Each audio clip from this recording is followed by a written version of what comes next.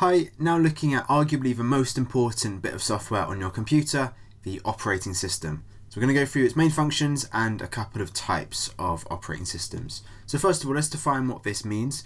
First of all, operating system is often shortened to just OS. So if you see OS, it is short for operating system.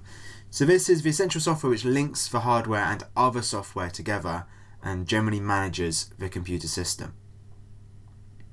So let's unpick that a little bit. Essential, we must have an OS. If you haven't got an OS, you can't run other software because as sometimes it's thought about, um, we have sort of a hardware at the bottom.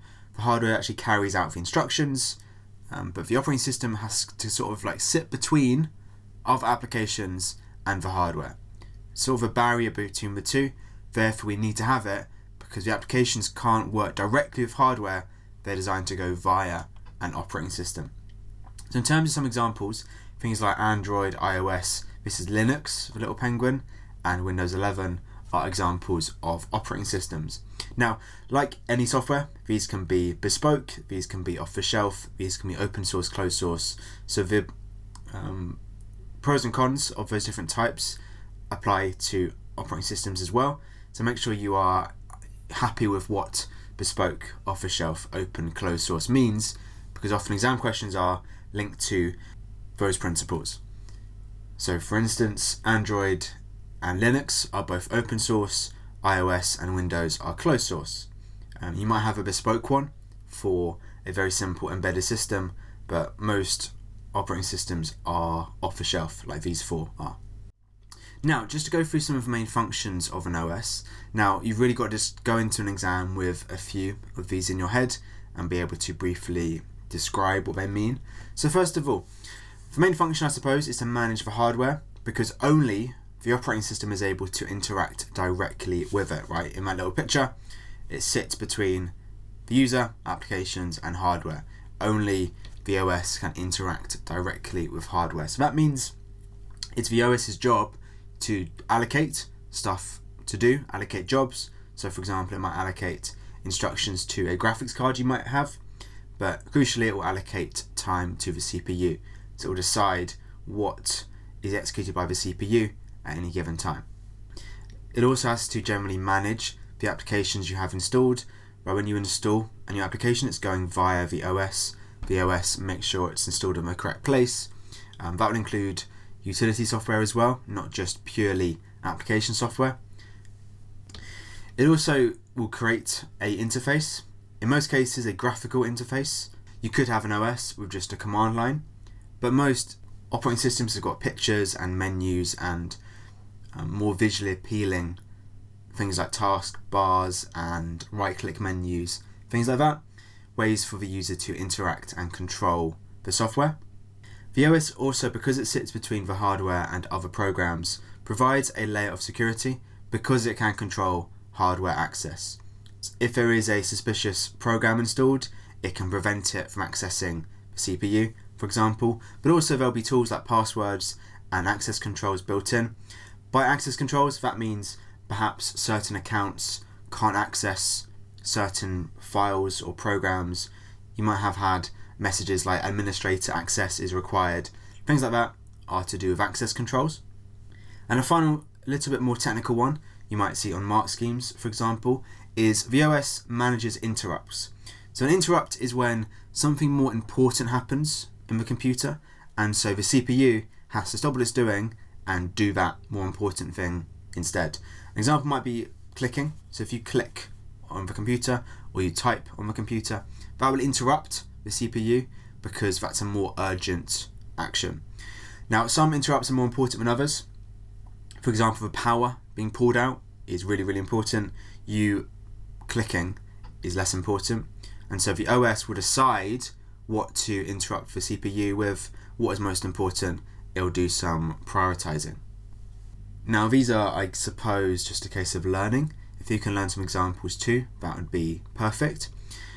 Also, you need to know a couple of types of operating systems. So first of all, let's talk about single user versus multi-user operating systems. So a single user OS is a type of OS which only allows one user at a time. Now, your laptop, your phone, your tablet, if you have them, are likely using a single user OS. So something like Microsoft Windows can allow different user accounts, but Microsoft Windows is still a single user operating system. So that at a time is the crucial thing here. You can have multiple accounts, but they can't be used at a time in things like Windows or Mac OS or Linux. Something like iOS or Android can only really have one user account, but again, it's at a time. Okay, so most operating systems are single user. But there are operating systems which allow multiple users to use it at a single time, a multi-user operating system. And usually this is done via a network, maybe through a network terminal, so a bit of software built into the OS which lets you connect to another computer and that might allow multiple connections at once. So a common example is something like a, a very powerful server. A powerful server might benefit from a multi-user OS because you might have multiple people trying to connect to it to make use of its extra power. So a multi-user OS is a little bit more complicated because it needs to make sure each user is allocated time of a processor. You can't just let one person use it. The whole point is you can share the resources. But also from a security point of view, a multi-user OS needs to make sure that one user is not damaging somebody another user's files, for example. So it, it's got to be quite careful at managing multiple people connecting at any given point. Another similar concept which you've got to be careful not to mix up. So we have got a separate pair here. We've also got single processor versus multi-processor OSs. Okay, so unrelated pretty much to single user, multi-user, despite them sounding very similar, so be careful. Now a single processor OS only works or only supports one CPU. So the CPU is the main device doing most of the processing in a computer.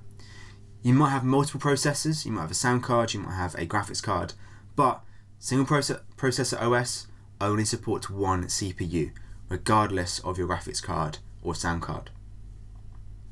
Now, it doesn't mean you can't multitask. With only one CPU, like my computer has, probably your computer has, your phone has, you can still multitask, you can still do multiple things at once. So right now, I am talking into a microphone, I've got a PowerPoint up, I'm recording my screen, I'm recording my voice. In the background, it's checking my emails, it's checking my time. A lot is going on in parallel.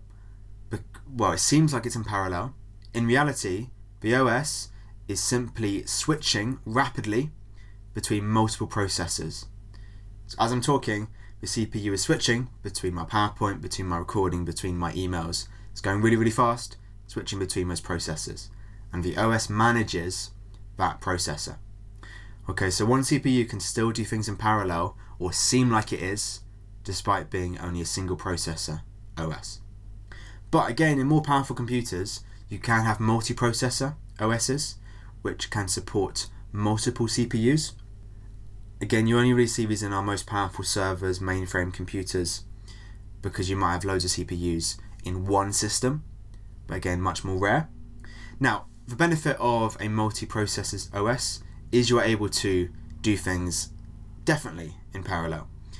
With a single CPU, you probably can't do things exactly in parallel. It might seem like you are, but you can't perfectly do it with multiple CPUs, you can do more than one thing at once. And so the term for this is throughput. Throughput is how much you're doing at any given moment. And so having more CPUs means you've got higher throughput because you can do more stuff because you can do things in parallel. So the main thing you've got to remember is most computers are single user, single processor, but some more powerful ones can be multi-user or or and multiprocessor.